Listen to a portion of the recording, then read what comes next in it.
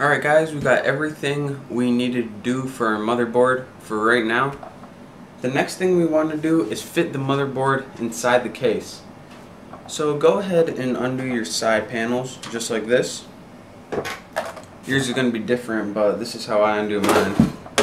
You can set this aside, we won't be using it for a little bit. And the first thing I usually do is this. This piece right here is your um, basic motherboard fittings. It doesn't actually fit with your motherboard. This is the one that we want to use. So we need to get rid of this one right here. And to do that, I just use a screwdriver.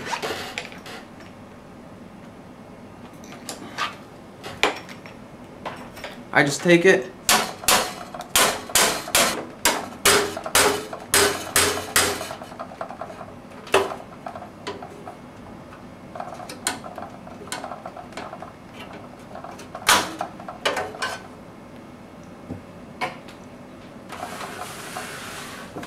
and I bang it out just like that.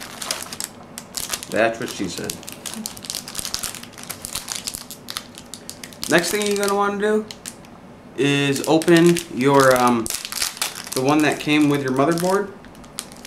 And the way you fit this in is you go around here to the back.